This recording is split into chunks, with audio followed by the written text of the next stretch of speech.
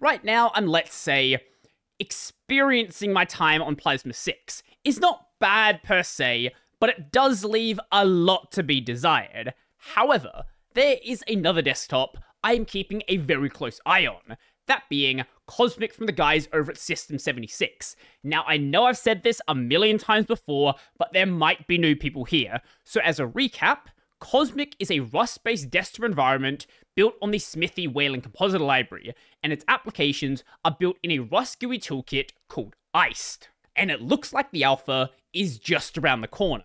Just not the corner we thought it was going to be. So, my last Cosmic video was back in January, and the blog post at the time said this as you can see, we are getting fairly close to an alpha version of the Cosmic DE. If all goes well, we can release the alpha by the end of March. Right now, it is the 19th of March. I don't know when this is going to be released. Be on the lookout for more updates in February. We'll likely have a lot to talk about. This release is not going to happen in March but it is going to happen. Just a few days ago, we got the March blog post Cosmic, more alpha, more fun. In January, we set a goal to release the Cosmic Alpha at the end of the first quarter. Cosmic application development had just started around that time. The initial plan was to release the alpha with the same GNOME applications found in the current Pop! OS 22.04 and roll out Cosmic apps as they were completed. So for anyone who doesn't know, the current version of Cosmic that they are shipping on Pop! OS isn't really Cosmic. It is GNOME with some extensions. Well, exciting news. Cosmic application development has gone much faster and smoother than anticipated. We've nearly completed the terminal and edit, which is their text editor, and have made significant progress on files, their file manager, and the application store. Now for the updated time, this puts us somewhere around late May for the alpha. However, this does not change our overall timeline. The completed release is still expected later this year, along with Pop! OS 24.04. Now, before we get into the March blog post, let's jump back to the February one, closing in on a Cosmic Alpha. There is a very good reason why they changed their plans. A lot of the things that were not at all done before are now just finished. Screenshots work exactly like they should. The screenshotting tool is completely done. Cosmic Text, a new shape-run cache feature, was added to Cosmic Text that enhances Cosmic Terminal performance. Text shaping determines the position of a character based on adjacent characters, which enables it to use special glyphs where necessary. With this new feature, shaping is cached to improve performance in rendering repeated shaping operations, resulting in a higher frame rate for Cosmic Terminal on-screen display, which shows things like the volume, the brightness, whether you have the touchpad on, touchpad off, things like that. All of that, completely done. Now, when you maximize a window, there's an animation on the top bar in the dock for when they're disappearing, and then when you go out of maximize to bring them back. Display settings, done. Wallpaper settings, done. There are still things they want to add to display settings like display cloning, but what you need from display settings is now there. Hybrid graphics are almost done. Cosmic works with graphics drivers to provide greater control, predictability, and performance with hybrid graphics. A lot of work was done to maximize performance on systems that use multiple GPUs, primarily things like laptops. Preliminary performance tests look promising, but we're still exploring more ideas to take this further. Cosmic Terminal, Basic features are done, now it's just the additional bells and whistles like multiplexing, Cosmic Edit, the text editor, the core functionality is there, but the file menu and spell check need to be implemented. The tiling applet is still a work in progress, but a lot of the core functionality is already there. Input device settings, basically done. There's just a couple of things they need to iron out still. And things like the file manager, workspaces, login screen were all in the early design and implementation stages, but they had a good idea about what they were trying to do, and it didn't seem like they were that far away from being in a implemented state. Also, if you happen to be at Linux Fest Northwest in April, Carl Richell, the CEO of System 76, is going to be there to show off Cosmic. Also, he is going to be holding a talk on Saturday, April 27th at 11am. I will not be there because flying to America is very expensive, but how, how in the world does he keep showing up every single thing I talk about? Neal Gompa is going to be there. Two videos this week. Two videos. And Neil shows up out of nowhere. And now, let's move back to the March post. More alpha, more fun. Cosmic apps showcase what's possible with the libcosmic widget library, the iced toolkit, and the cosmic theming system. They also help demonstrate the long term vision for the platform, how far they've come. We've decided to delay the alpha release until the core apps reach MVP, minimum viable product, so that they may be included with the initial ISO. Now, what does the alpha release mean? It does not mean this sort of modern video game alpha where it's basically just a demo. This is an alpha where things are intended to break. During alpha release development, features are created and released with only engineering sign off. In the interest of rapid iteration between teams, QA and design review is completed after code release.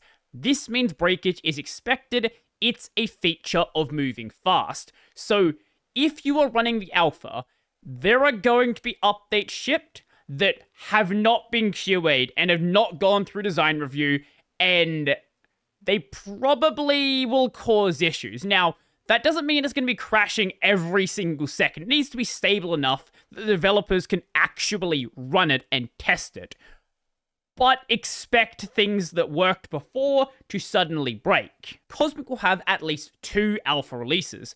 After the first beta, features and major bugs are considered resolved, and new code requires engineering, QA, and sometimes design sign off before release. So once the beta comes around, expect things to be in a lot more stable of a state, but also it's beta software. So probably don't run it on production machines unless it is a secondary machine that you're just okay with crashing, or it's your main machine and you know what you're getting into. You know that you're getting into a system that is not yet production ready. If I wasn't doing this for content, I would probably wait until Popware starts shipping Cosmic as the main thing they're shipping before I went and switched over to it. Now, because I do this for content, I'll probably swap a little bit earlier. Now, following up from February, hybrid graphics are still in a state where they need to be improved, but they are considered alpha ready. The tiling applet has been implemented and is basically just ready. Input settings are implemented and basically just ready. The terminal is still a work in progress, but the remaining things at this point are very, very bells and whistles. Things like dropping a file into the terminal is going to give you the file path. If you are running a process from your terminal, something like you have nano open, if you try to close the terminal, it's going to say, hey, are you sure you want to do that? The text editor now has a file menu, and they are in the process of adding spell check, but right now it is not currently fully done. Now, as for the file manager, the MVP designs are done and implementation is underway. And I'll say it again because it's still in the same state it's in. I really don't like the Cosmic Light theme. I think their dark theme looks incredibly good, but I like it's it's not blindingly white, right? Like it, it doesn't look horrible, but I just don't think that what they have going here really works. It needs to go back in the oven. I don't know what the best approach would be. Maybe more of a focus on their accent color or anything besides what's going on here. Obviously, seeing as though this is a whole different toolkit, there are going to be issues theming across the different toolkits. Now you're going to have a desktop that has some GTK applications, some Qt applications, and the main applications are all going to be in this Rust-based toolkit called iced. But there is going to be a thing that makes it slightly less bad. Support was added to Cosmic's implementation of the XDG desktop portal that enables other applications toolkits to adhere to dark mode, light mode, and the user's configured accent color. Light theme support has also been added to Cosmic Comp for stack headers and tabs. So even if the toolkits are going to look completely different, which they almost certainly will, at least all your applications will use either your dark theme or your light theme. Now, there is a number of reasons why I am excited for Cosmic. One of them is due to the fact that they are clearly experimenting with different things which we're not really sure if they're going to work out that well. One of them is window tabs. So there are hacky tools to do this on X11, one of them being tabbed, where you can turn any single window into a tabbed window. So in this case, they have their text editor and Firefox in the same tab block. Over here, we have display settings, and I believe that's probably a terminal in the same block. These blocks can be dragged around, the tabs can be moved around like you would in a browser, for example, and I don't know if I would use this, right? Like, it's not something that I'm used to working with, but I kind of like the idea of adding it to see if it's actually going to be a good idea. The other thing, and far more importantly for me, is tiling. I'm going to keep bringing up KDE every time I talk about this because what KDE does is not tiling. I don't care how you intellectualize what the definition of tiling is. What KDE does is not tiling. Cosmic is the only desktop environment made by people who actually understand tiling window managers.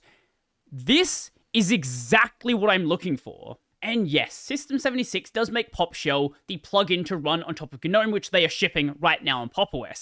But by not being tied to GNOME and not being tied to their limitations, this massively expands what they're capable of doing. They can make something from the ground up that is both tiling and floating because they do have a lot of people that use floating. When I had Carl Richell on the podcast, he said it was something like 60 40, 60% floating, 40% tiling, which is still a lot of people that want to use the tiling, and they're clearly putting the effort to make the tiling also a good experience. But let me know what you think. Do you care about tiling? Do you care about floating? Is Cosmic the best of both worlds, or do you think it is going to completely fall apart? I'd love to know. Let me know down below. So if you like the video, go like the video. And if you really like the video and you want to become one of these amazing people over here, check out the Patreon, Scribes, Liberapay, linked in the description down below. That's going to be it for me, and soon, soon will be Cosmic.